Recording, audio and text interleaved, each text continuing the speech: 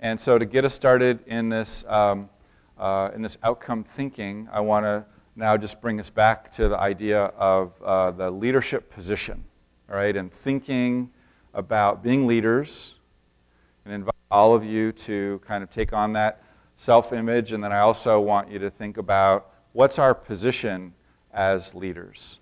So when I started playing around with that in preparation for this series of the Co-op Cafes, I got into this, uh, oh, well, there's the hunker down leadership position and there's the double down leadership position. And sure enough, you do a little research, find out there is such a thing as a hunker down and a double down. And so the hunker down definition is to sit on one's heels to stubbornly hold a position, to settle in or dig in for a sustained period. And the idea of the double down is to become more tenacious, zealous, or resolute in a position or undertaking.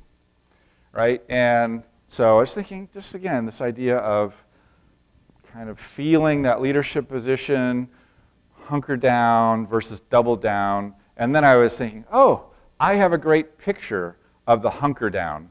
And my wife and I, we took a cross country bike ride this last summer, and uh, here we are hunkering down because there's this storm passing over. I mean, the real big kind with the lightning and the hail and the, and the downpour, and we're out there on our bikes and we're going, hold on, hunker down because this storm is going to pass, right? And then the double down vision is, you know, the idea of pedaling on a bicycle over those tall mountains.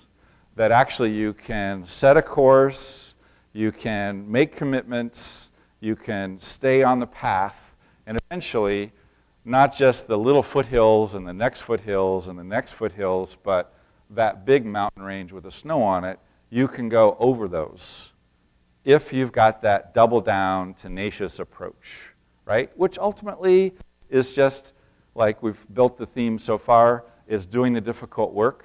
On a bike, it just means that you keep pedaling even if it means you keep pedaling all day uphill, right? So um, that's the starting to think about the leadership position, the hunker down, the double down. Now what I want us to do is actually kind of experience it physically. So this will be, um, uh, please, please stand up for a minute. These ideas came from uh, tennis lessons that I had a while back. And first we're going to practice the uh, hunker down. This won't be the full hunker down because that involves squatting and we probably fall over. At least I did when I tried. But just feel what happens when you put all of your weight back on your heels. Right? Because that was that thing of like, oh, you're sitting on one's heel. So put your weight back there. And then can we move? Can we do the resilience thing that John was talking about if we're in the hunker down position? Now imagine actually the full hunker down, which is the full squat.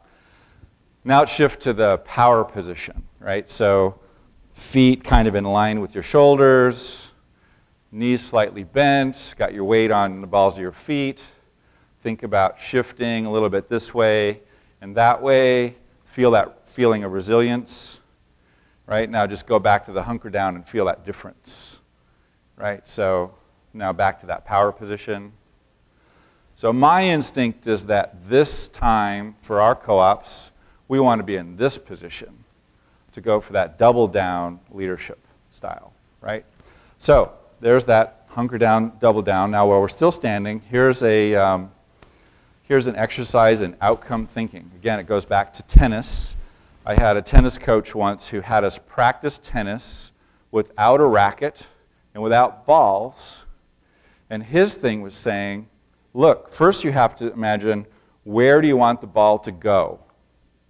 And then practice throwing your hand where you want the ball to go. So without whacking your neighbor, I want you to pick a place in the room and imagine throwing the ball and, and, you're, and you're throwing your hand where you want the ball to go.